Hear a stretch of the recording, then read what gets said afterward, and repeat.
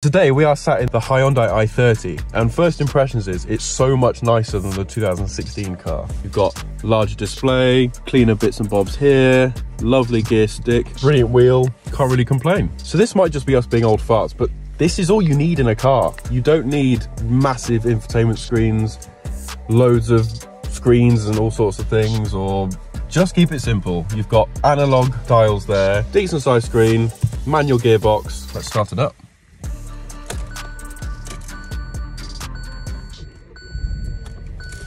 Listen to that.